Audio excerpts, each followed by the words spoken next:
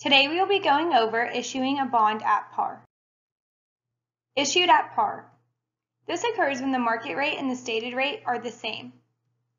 The bond is issued at its face value and nothing less or more. Interest expense equals the cash payment.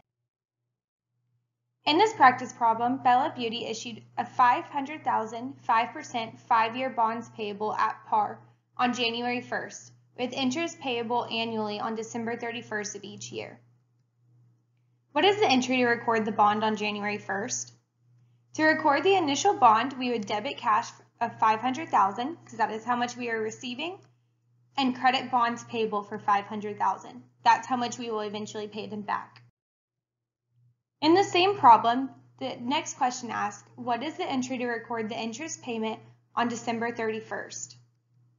We would debit interest expense for 25,000 and credit cash for 25,000. We got the 25,000 by doing 5% times 500,000. Because they are paying annually and that's an annual interest rate, there's no conversions needed. The next one asks, what is the entry to record the payment of bond on January 1st?